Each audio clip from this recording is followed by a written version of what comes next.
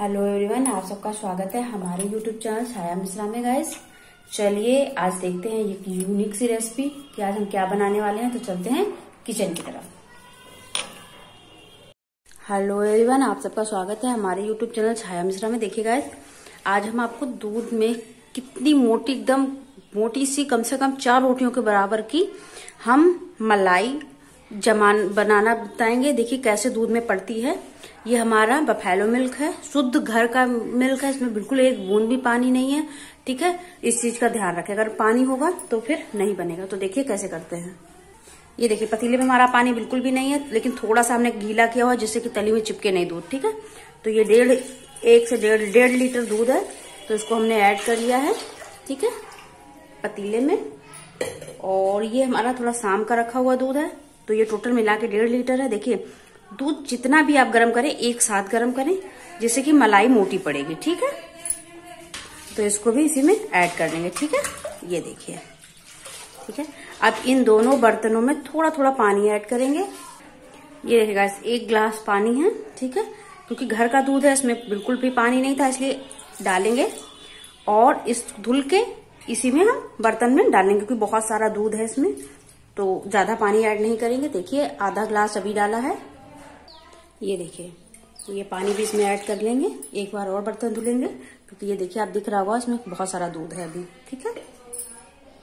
ये देखिए गाइस डेढ़ लीटर दूध में सिर्फ़ एक ग्लास पानी हमने डाला है, जो कि उबालते समय वो जल जाएगा, उसमें ज़्यादा नहीं रहेगा पानी, ठीक है?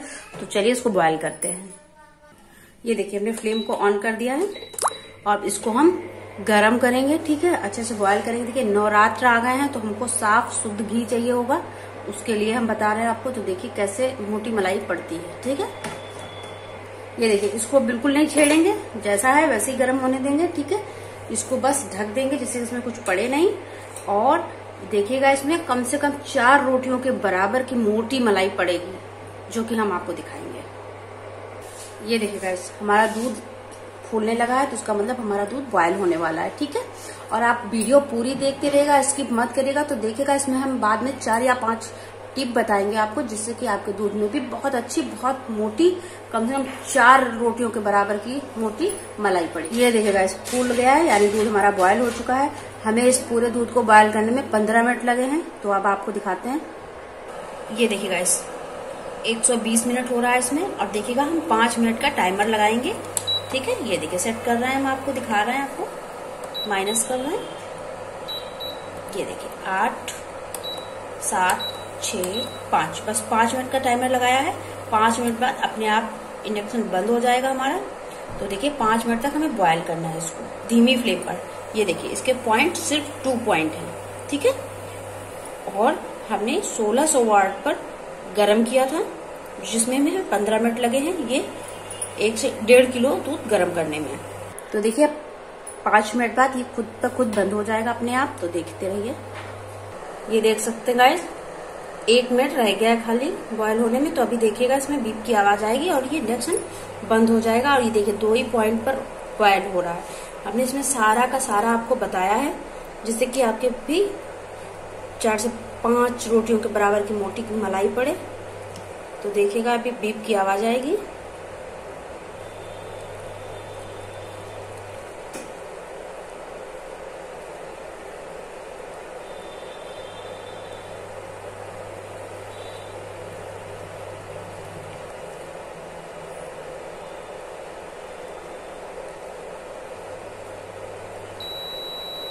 ये देखिए गाइस हमारा इंडक्शन बंद हो चुका है।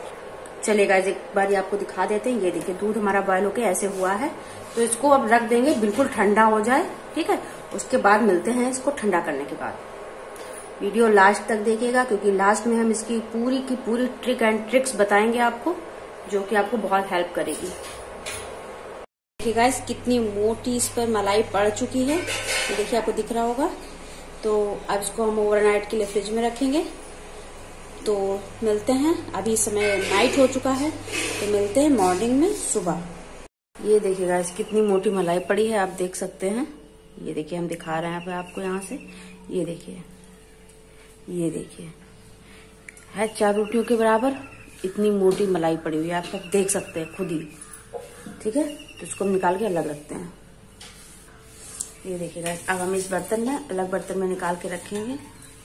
इसको और देखिए कितनी सारी हमारी मलाई ऐसे साइड से, किनारों से छुड़ा लेंगे, ठीक है? और देखिएगा।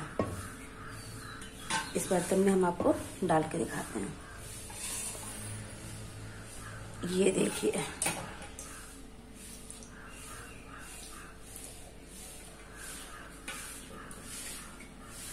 ये देखिए कितनी सारी मलाई निकली है। एक दिन की इतनी सारी मलाई।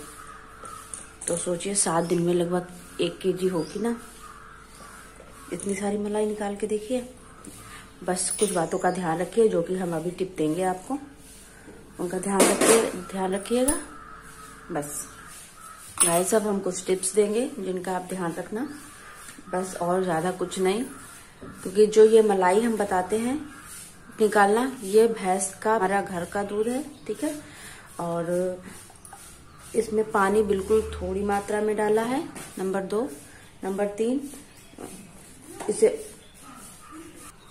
और गाइस देखिए, दूध में एक उबाल आने के बाद में करीब करीब पाँच मिनट तक इसको पकने देना है अच्छे से, जिससे कि अच्छा सा पक जाएगा, पानी जल जाएगा तो उसकी मोटी मलाई पड़ेगी। जब दूध पूरी तरह से ठंडा हो जाए, फिर फ्रिज में रख दें। ओवरनाइट के लिए या ओवर ओवरनाइट ना हो सके तो दो, चार से पाँच घंटे ज़रूर रखें, जिससे कि उसकी मलाई अच्छे से जम जाए। एक बात और गाइज़ अगर आप दूध बाहर से लेते हैं तो उसमें पानी बिल्कुल ना डालें, क्योंकि उसमें पानी ऑलरेडी वो लोग मिलाए रखते हैं, प्योर दूध नहीं देते हैं तो इस वजह से। और लास्ट सब लास्ट में सबसे बड़ा पॉइंट कि अगर बच्चे दूध पीते हैं तो उसमें ये काम ना करें, क्योंकि इसका फैट पूरा निकल जाता है दूध का। देखिए, जो बच्चे छोटे होते हैं, क्योंकि इसमें फैट पूरा जो होता है, ऊपर जम जाता है ना ठंड की वजह से। इस वजह से तभी इतनी मोटी मलाई पड़ती है। तो आज की हमारी ये रेसिपी अगर आपको पसंद आए तो प्लीज़ लाइक करें सब्सक्राइब करें एंड शेयर करें। थैंक यू मिलते हैं नेक्स्ट रेसिपी में।